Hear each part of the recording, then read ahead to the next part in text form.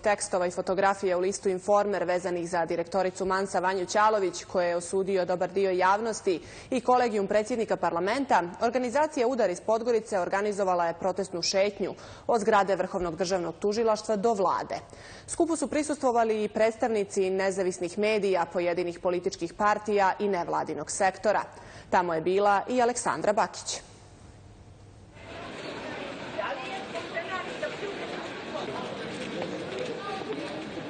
Ovako su organizatori protesta i oni koji su ga podržali odlučili da osude sve ono što se prethodnih dana moglo vidjeti na naslovnici crnogorskog tabloida Informer.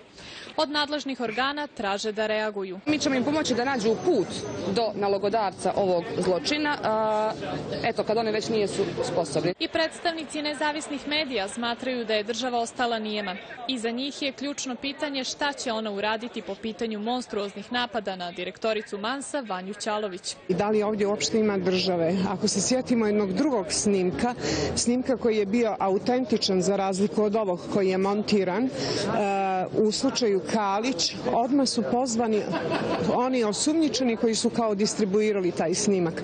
Ovdje se uopšte ne razmišlja ko je naložio ovaj užasni zločin protiv Vanje Ćalović i drugo, e, država još nema nikakvih reakcija. Zato sve pozivaju na solidarnost, ali i pitaju se ko je sljedeći na tapetu informera. Mi ovdje danas nismo samo zbog Vanje Ćalović, naprotiv. Mi smo ovdje zbog svih nas, jer ovo nije samo teror i hajka na jednu osobu, na Vanju Ćalović, već prije svega na sve nas i ako je danas na meti Vanja, ako je juče bio neko drugi, sutra će svakako biti po istoj matrici uh, neko od drugih građana, od slobodomislećih, od slobodnih intelektualaca, od ljudi sa ulice, od bilo koga ko ne želi da sluša diktate iz ove i ovakve vlasti. Izašli smo na ovaj protest zato što je zločinački, bestidni i kukavički napad na Vanju Ćalović, napad na sve nas. Protestu su prisustvovali pojedini poslanici i predstavnici nevladinih organizacija. Ova akcija će se nastaviti sjutra u 11 sati ispred prostorija Liste Informer